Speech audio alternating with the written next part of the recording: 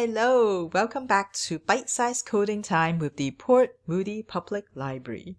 Today we're going to take a look at how to draw in Scratch. Now, drawing in Scratch is one of the funnest thing out there. Funnest is not a word, I don't think, but I'm going to use it anyway because it's just so much fun. A few weeks ago, we showed you how you can create your own sprite by uploading an image or a photo. So if you missed that video and you want to know well, how can I make myself the main character of my story and game, you can take a look at that video and see how to do that. And today we're going to show you a different way to create your own sprite by drawing. Now Scratch has drawing tools built in so we can do all your creation right in Scratch. And in this video, we're going to take a look at the basics and then next week, we're going to take our skills that we learned today one step further and create something a little more complex. So let's take a look at the basics. Now I have opened up a Scratch project. I don't have any sprite yet, so let's make one. So I'm going to move my mouse to the bottom right corner, but instead of clicking on choose a sprite from the library, I'm going to click on the paintbrush up here and create my own.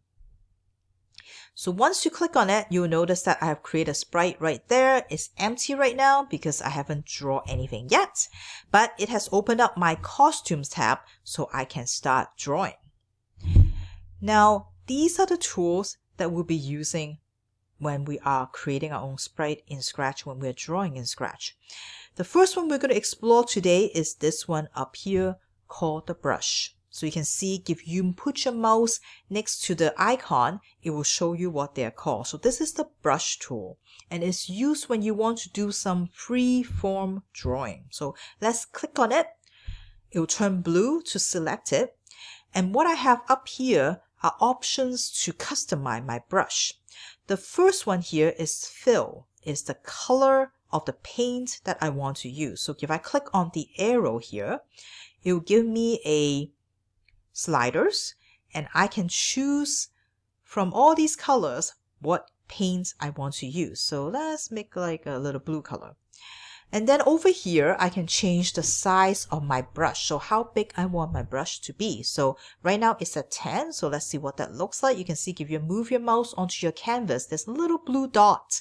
And that's about how big the size of the uh, my brush is right now. So let's draw a character. So I'm just using my trackpad on my computer to draw this snake thing. I don't know.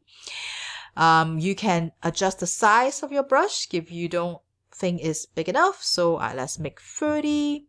And you can also like just type in a number or click on these up and down arrows to change the size. So now you can see my lines are a lot thicker like that. Now, if I zoom in, you can see because I'm using my trackpad on my um, computer, using my finger to try to draw, the lines are not very smooth. They're a little jaggedy. Um, so, but that is what the freeform brush does. So it just lets you freeform draw and maybe that is the look that you want or maybe you want something a little smoother. So we'll kind of show you different options on how to do that. Now to get rid of what I draw, I can click on the undo button up here and then that will remove what I did. And now let's explore the line tool. So this is a free form line, so you can go wherever way you want. And but the line tool, as the name suggested, lets you draw a straight lines. So I can change the color of my lines up here under outline. So same thing, I can uh, change the color. If you don't, if you only see white or black, move the two bottom sliders all the way to the end and then that way you can see the whole rainbow of colors for you to choose from. So let's make it like a little pink and I'm to um, make it easy to see. So change it to 20 again. And this time you can see what I can do is straight lines. Nice straight lines. Undo and let's explore the next two tools, which let us do shapes and not just lines. So we have the circle tool and the rectangle tool. So I'm going to click on the rectangle tool and you'll notice that now all of these are active for me to choose. So I can choose the color of the fill, which is the inside of the rectangle, and the color of the outline, which is the outside of the rectangle. So if I click and draw, you will see that I will now have a rectangle like that. Now, this tool also lets you draw square, perfect square. But to do that, what you need to do is to hold down the shift key on your keyboard and then while you're holding that key down, click and drag. Right? And so you can see now I am stuck and I can only draw squares and not rectangles.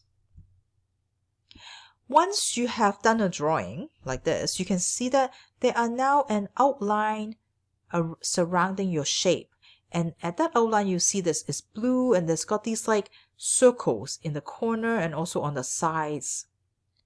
And what those lines do is they let you resize your drawing. So if you have done a drawing and you then want to change the shape of it or change the size of it, you can use these little corner tools to help you do that. So when you move your mouse over any of these dots, you notice that your mouse change from a arrow to sort of a double arrow. And when you see that, you can click and drag and you can see now I can squish my rectangle or stretch it out.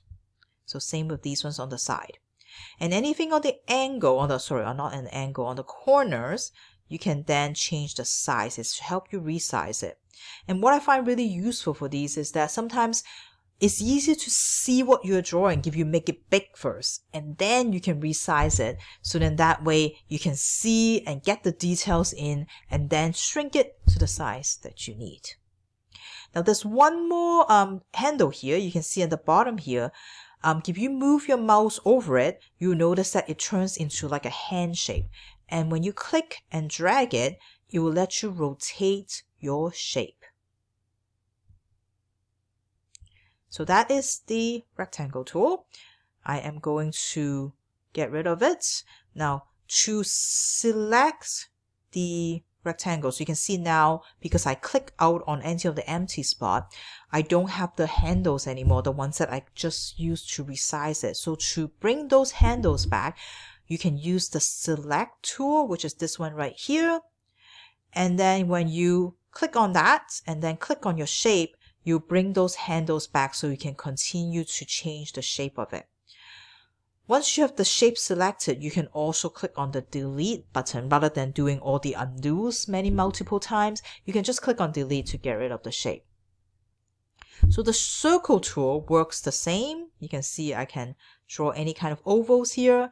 And if I want a perfect circle, again, hold down the shift key on my keyboard to do a perfect circles. All right, so now I have a oval, looks maybe a little bit like an egg, kind of. But what I want is in my game, I want to drop eggs onto the floor. And maybe somebody down at the ground will have to rescue the eggs. But if they are not fast enough, the eggs is going to hit the floor and it's going to break apart. So I want an egg that looks like it's broken. So how do I do that? Well, there's one tool that I can use to help me with this, and that is the eraser tool. Now the eraser tool, like the name suggested, is to help me erase bits and pieces of it. And this comes in really handy if you want to make multiple costume, just like what I described with the egg. But let's take a look at how the eraser tool works. When I click on it, you can see that I can choose the size of the eraser up here. So I'm going to make it bigger um, let's say 30. And then you can see when I move down to my shape, I have a white circle following me. That is my eraser. So I can, for example, make a hole in the middle of my circle here. And now you can see now I have kind of like a, a donut shape, maybe, right? And when I select the shape, you can see the whole thing is one shape because I just erased little bits of it. But so this is still remains one complete shape. Now let's undo, undo, undo, undo. Whoops, undo too far. Let's do the egg again. So now I have an egg. Now to make it a broken egg, I'm going to want to create a new costume. So to do that, I move my mouse over to the icon where I have a one costume, right click, and then duplicate, which means making a copy. So if I click on that, now I have two costume and they're both based on this oval that I drew at first. Making sure that you have costume number two selected, I'm going to click on the eraser one more time. And this time I am going to make it a very tiny line. So just a tiny little teeny tiny eraser. And what I'm going to do is I'm going to break my egg apart. So let's do that. And you can see now I have broken my egg up. So if I code this to change costume from costume 1 to 2 it will look like I have a broken egg, a cracked egg. But not only that, something interesting happens if I use the eraser and I use it from sort of like the outside of the shape all the way to the outside to cut it in half. What happens when I do that is that if I click on the select tool, you will notice that if I click on my oval now, it actually broken the egg up into two pieces. Unlike the donut just now, these are actually two separate shapes now. And I can actually move them apart. So you can see now I look it really looks like I have a cracked egg. So it has turned my oval, which is one shape, into two. So that's quite interesting what this eraser does. But not only that, now you can see maybe you can create shapes, different shapes out of this because when you look at it earlier, I introduced you to the line tool, to the brush tool, and a rectangle and a circle. But you will know that a lot of times we want to create things and they're not perfect circles or squares. So one of the ways you might want to adjust it is by using the eraser. So if I click on this, right, by using the select tool, click on it, get rid of that, and select tool again, select this other remaining shape, turn it around, and then maybe I add some circles. You can probably guess where I'm going with this. Circles, circles, and maybe give it a mouth. Well, what do I have now? I have a weird ghost shape, right? I have a ghost character by using an oval and eraser. So maybe you can now see, huh, that might is an interesting way to use a eraser. I can actually create different shapes by simply changing the original circle or rectangle. So today we did four, we, we explore four tools, right? Four drawing tools. And you're like, okay, yeah, I can see, I can see drawing, making some fun characters out of this. But is that all? Because like, do I have to erase bits and pieces every single time if I want something that is more irregular? Uh-uh, of course, Scratch has more tricks up its sleeves. And to find out how to do more irregular shape and make them look nice so that you don't actually have to do freeform drawing every time and have those little squiggly lines and, and we want something smooth like this ghost that we have created, stay tuned for next week and we will show you how. So until then, happy coding Thank you again for joining me today, and we'll see you next week. And I hope you have fun playing with the tools, the drawing tools in Scratch, and create some amazing characters. So please do share them in the comments if you make them. Love to see what they look like. And next week, we'll continue our drawing adventure. Bye!